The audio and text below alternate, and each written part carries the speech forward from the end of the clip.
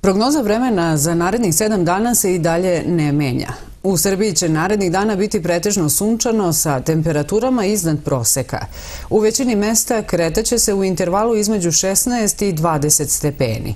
Tek od sredine naredne sedmice moguće je na oblačenje sa kratkotrenom kišom i padom temperature, kažu meteorolozi.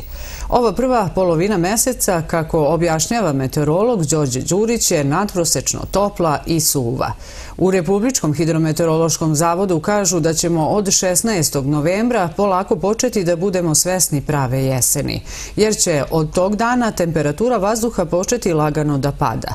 Tako će 17. novembra biti oko 15 stepeni, 18. novembra oko 13, dok će se ispod 10 stupnjeva ona spustiti 19. novembra, ali na kratko.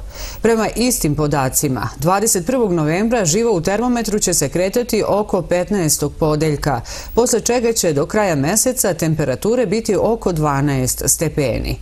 Ekstremno visoke temperature za ovo doba godine do sada najviše muke zadaju poljoprivrednicima, jer zbog tvrde zemlje, veće potrošnje goriva, lomljanja delova na mehanizaciji, ozima setva kasni i košta ih mnogo.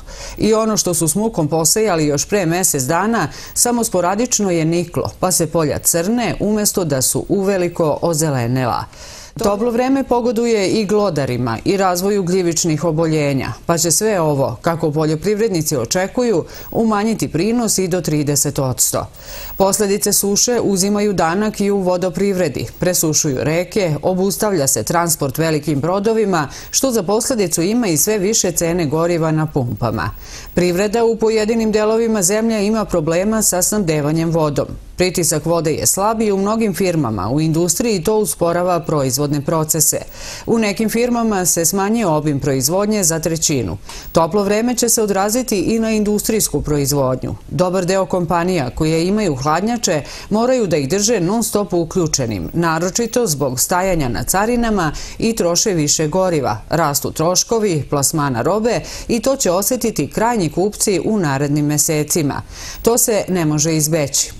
Međutim, ima i onih kojima je toplo vreme pogodovalo, poput vinogradara, koji su dobro prošli sa poznim sortama grožđa.